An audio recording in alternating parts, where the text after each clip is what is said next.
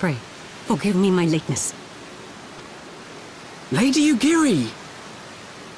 Master Alphinaud, I am pleased to see that the light of resolve shines in your eyes once more. Ah, yes. How pathetic I must have seemed to you when we last met. I am ashamed to recall it. For a time I was well and truly lost. But with the aid of my comrades, I have since refound my purpose, and I shall take care not to misplace it again. Since your escape from Ul'dah, my fellow shinobi and I have shadowed the Crystal Braves every step, in hopes of learning the Scion's whereabouts. Regrettably, our investigation has yet to yield any useful information. Pray, forgive us. You need not apologize, my lady. We are grateful for all that you have done on our behalf. Besides, Raubahn is no less a friend, and we cannot well abandon him to his fate. Hozan, the three of us shall attend to the Flame General's rescue. Pray, draw away the guards by the entrance. Take Dowade and Higiri with you.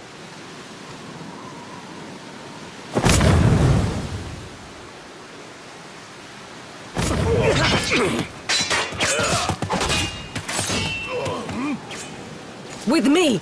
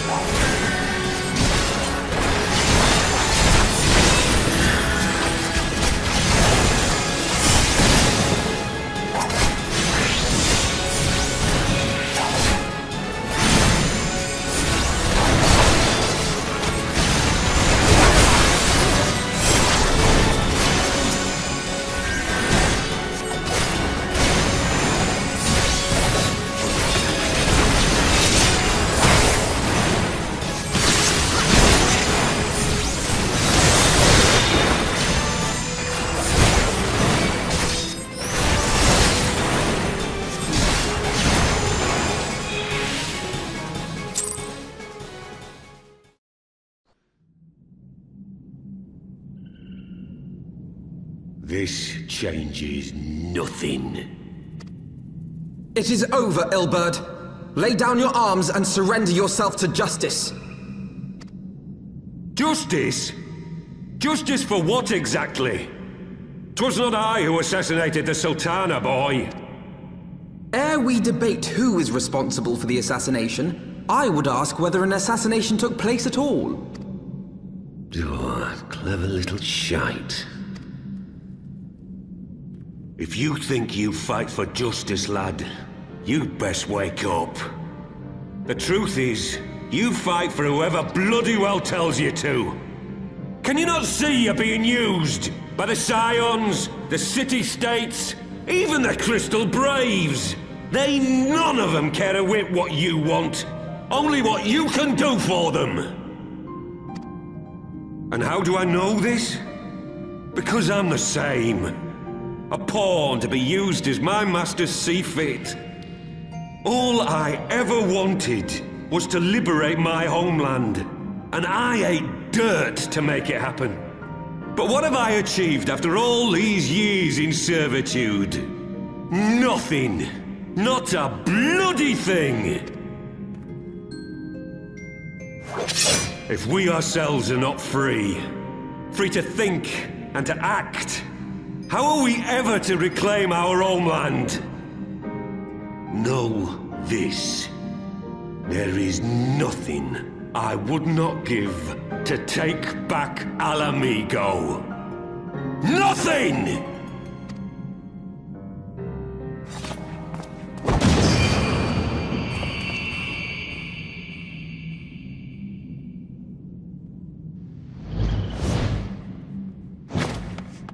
You'll not get away!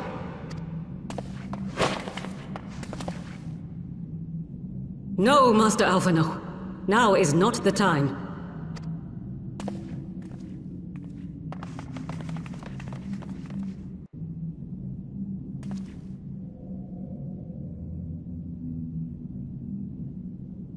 I'm but a cripple and a fool. And still you came for me. I'm in your debt. We are all of us fools of fate, General. But even fools have a part to play.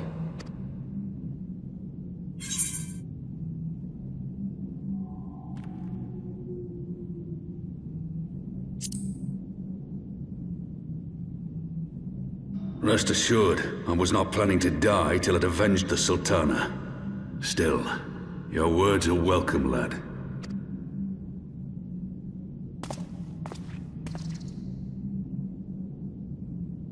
Know this, Ilberd. There is nothing I would not give to see you pay for what you've done. My wealth, my arm, my life. Nothing. General, are you aware that Lord Lolorito has yet to announce the Sultana's death to the public? What? No. No, I was not aware of that, nor of anything else outside my cell. Tis passing strange, though. I assumed the bastard would make it known at the first opportunity, and set about tearing down the Sultanate. As did we all. And it is indeed strange that he did not. Strange, or perhaps revealing. Now, I have no conclusive proof, nor do I wish to give you false hope, but I have reason to believe that Her Grace may yet live. What? But how can that be? Forgive me, friends, but it is not safe here. Let us continue this conversation without...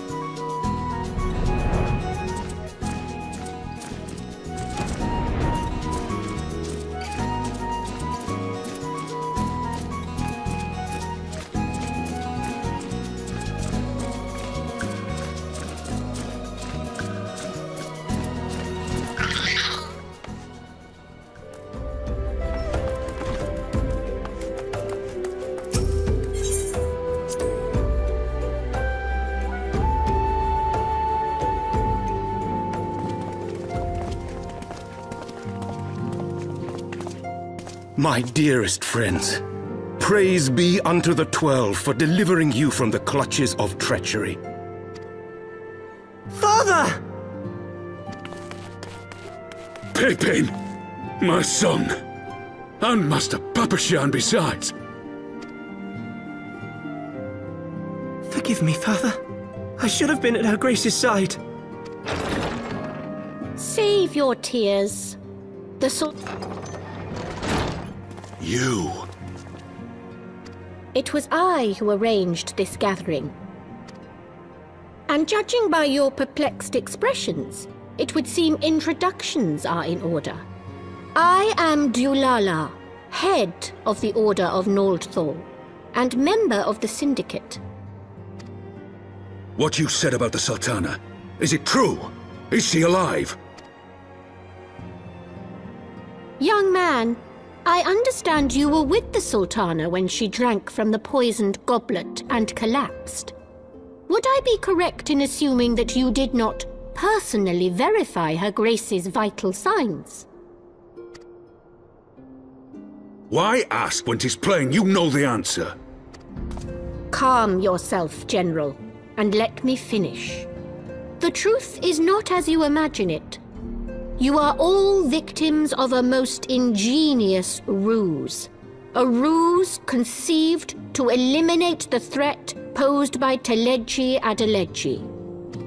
Tis my belief that Teledji plotted the Sultana's assassination alone, but that Lolorito caught wind of his plot and exploited it to his own ends. He sought to manipulate you into eliminating Teledji for him, and you duly obliged. At one fell swoop, he removed his two foremost rivals, all the while remaining above suspicion. God strike me down for a fool. But the Sultana, how can it be that she lives? She lives because Lolorito willed it. Her own lady-in-waiting is but one of his many little birds. By her sleight of hand, the poison was switched for a less deadly draught before it could reach her mistress's lips. Some manner of sedative, perchance? Of a potency sufficient to induce a slumber like unto death. Were I to guess, I would say her grace is being held somewhere, dreaming dreams of a brighter Ul'dah, even as we speak. Oh, Nanamo. I will never forgive Lolorito for his part in this. Though Lolorito's hands are far from clean, they did pluck her grace from the jaws of death. That must count for something.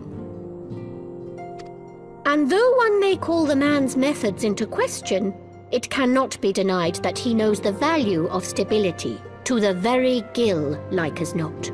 He craves power, tis true, but he has no desire to depose the Sultana.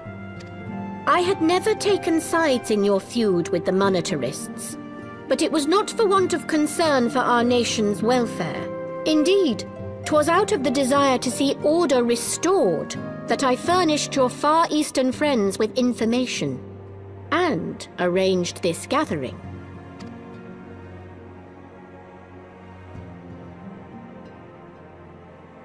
I hope you are ready to work, General, for there is much work to be done. Our first priority must be to bring matters back into balance. Lest you forget Her Grace's words, the true wealth of Ul'dah lies in the health, happiness, and hopes of her people. As for the more worldly kind of wealth, I am content to let Lolorito help himself to whatever Teledji Adeledji left behind. You, meanwhile, must do that which you alone can do. Rescue her grace and take your place at her side once more, for her sake and that of our nation.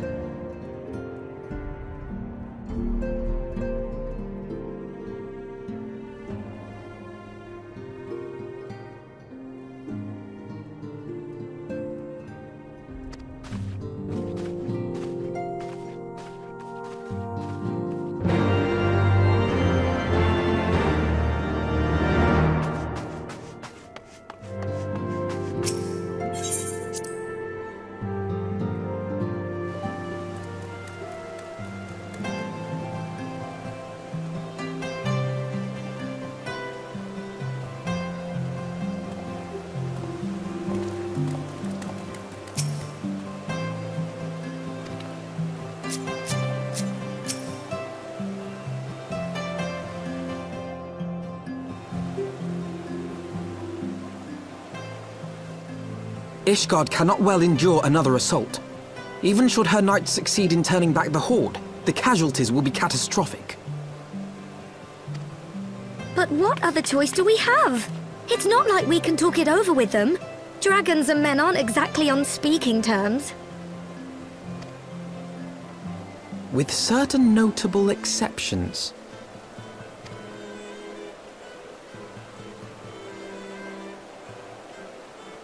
You don't mean Iceheart? When last you spoke with her, she lamented her crimes, did she not? Then there remains a sliver of hope. If we can persuade Iceheart to act as our intermediary, we may yet be able to convince Nidhogg to abandon his bloody course. If there is to be a meeting, I would accompany you. Estinian. Even with your intermediary, Nidhogg's blood rage may render him deaf to reason. However, the mere attempt may afford our forces precious time to prepare. Of course, you might also consider a more direct approach to ending this conflict. With the power of the Eye at my disposal, and the vaunted strength of the Warrior of Light, we could conceivably slay the beast outright. If we are to risk a face-to-face -face meeting with the Dread Worm, I for one would feel safer in the company of the Azure Dragoon. However, I should only turn to your lance if my words failed to find their mark. Is that clear? Perfectly. I shall assume that Iceheart enjoys similar diplomatic protection until instructed otherwise. A word of advice. Think carefully before divulging the particulars of this plan to Sir Aymeric. Twould not do to have the Lord Commander accused of consorting with heretics. Indeed. I thank you for your counsel, Estinian. We shall be honored to have you with us. I am glad to be of service.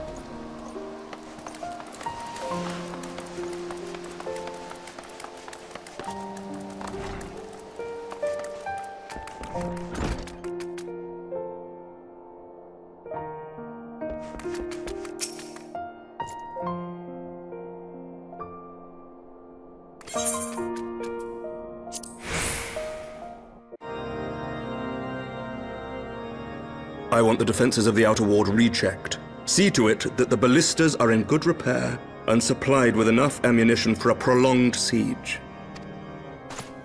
At once, my lord.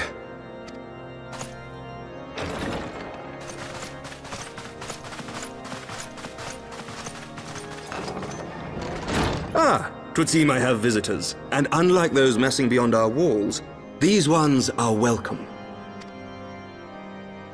Pray forgive us for interrupting you in the midst of your preparations, Sir Aymeric, but our suit concerns the impending assault. To speak plain, we believe there is a chance the invasion might be halted before it even begins. I can divulge little more at this time, but I must nevertheless request that you advise the Holy See to refrain from launching any preemptive sorties whilst we seek to put our plans in motion. I will gladly lend my support to any endeavor that could spare the blood of my countrymen, but I would know more of the cause you would have me champion. Will you not share aught of this mysterious undertaking? Know that I have offered my lance to aid in this endeavor. I cannot claim that its success is assured, but our actions should serve to delay Nidhogg's advance at the very least. Which is more than can be said for the ill-conceived counterattack advocated by the See's more vocal crusaders. They offer glorious death, but little hope of victory. Aye, their proposal does not inspire confidence. Our resources should rightly be spent shoring up the city's defenses. Hmm. The Azure Dragoon and the Warrior of Light sallying forth together to face the dread worm Nidhogg.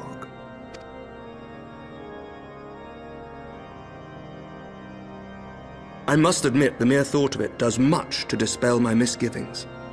Go then. Carry out your plan.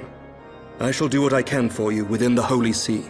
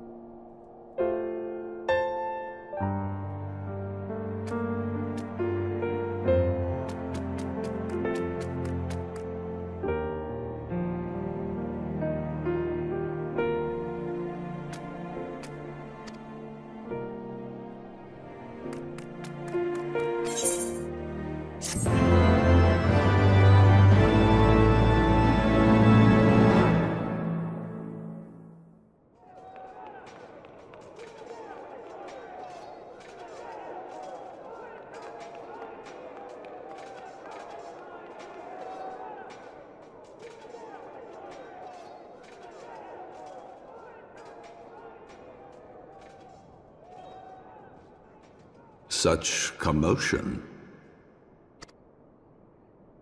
Yes, Your Eminence. The bells of the Observatorium warn of our enemy's approach. So, the dragons are coming. Let them come, in their hundreds and their thousands. With the divine blade in our hands, we shall rend their flesh and drown the heretics in their master's blood. Even Nidhogg and his foul brood shall be powerless to resist us. And when we have rid the world of their pestilence, we shall turn our attention to our Ascian allies. See that they are suitably rewarded for their invaluable assistance. If I may, Your Eminence, the Paragons wield powers strange and unknowable. Can we be certain that they will not see through our deception? We can be certain of naught save the righteousness of our cause. If you would be a true leader of men, you must possess conviction as well as caution.